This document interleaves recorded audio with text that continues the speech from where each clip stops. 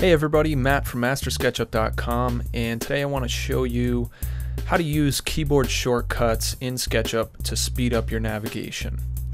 Now you can see here I have a laboratory table and what I want to do is just show you real quickly how I have set up some custom shortcuts to help me quickly uh, change the visibility of things as I'm modeling. So right now I've got this table and I want to edit a cross member that's underneath here. Now I could just go ahead and activate this cross member and try to navigate, but you know, why make things hard? You know, we want to make things as easy as possible for us. So um, what I want to do is get rid of this countertop so I can actually see what I'm working on. And I've set up on my keyboard so that the letter N will hide um, whatever selected. Now you can do the same thing by going to edit and hide or right click and hide. But like I said, I have a keyboard shortcut, so I just hit N on my keyboard and it's as easy as that. And if I didn't have to, you know, explain all that, it would have happened a lot faster. Um, and then, so now you can see how easy it is to to look at stuff. So, um, so I've selected this cross member, and you can see how it is extending a little bit into another sidebar here which I don't want. So I want to try to, I want to use the push-pull tool to bring it back to this point here. So I'm going to go ahead and open it. And you can see, even though I've activated it, there's all this stuff in the way. So the next keyboard shortcut that I created is the letter X. And what that does is uh, component edit hide the rest of the model. So I'll show you. I'm going to hit that and it hides everything else and you can alternate back and forth really easily. So that's that's what's really cool about it. So now if I activate the push pull tool, I can start the push pull and then hit X, bring back the rest of the model, come around here and uh, reference a point that's outside of the group to finish the push pull. And then once I've done that, you, you can just come out of the, the group and if I go into my outliner, uh, you can see the uh, epoxy countertop group that was originally hidden.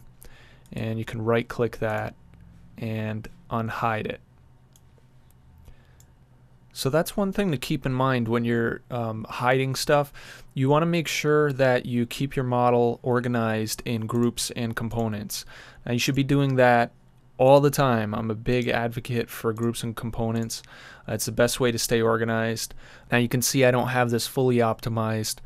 You should try to label every group and every component so you know what you're what you're looking at when you're in the outliner.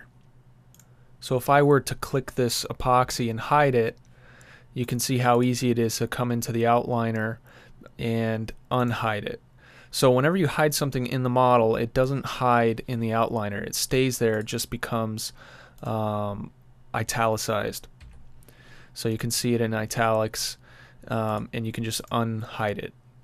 The other way to unhide something is if you go to view and hidden geometry, you can see that it any any hidden geometry shows up. So that's good if like you have a lot of different groups and it's it's kind of hard for you to find the, um, the group you're looking for in the outliner.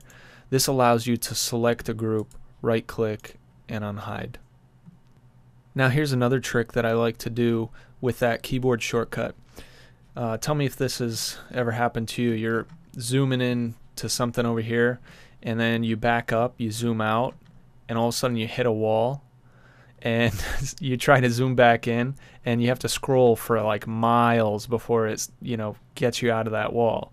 So check this out. If I go back to the wall all I have to do with the select tool you click once hit N and the wall disappears.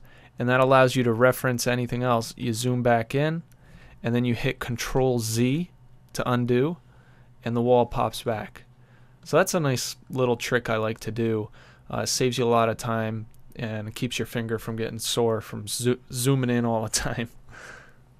So if you'd like to set up your own keyboard shortcuts, you go to Window and Preferences, and then in that window you hit Shortcuts, and you select whatever um, function.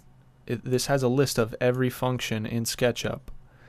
So to do the uh, the two functions that I uh, showed you today, you would go to View, Component Edit, hide the rest of the model, and to add the shortcut, you would click here, type in the key that you want to activate that shortcut, and you click Add, and you can see I already have it added here, so it's not going to let me do it.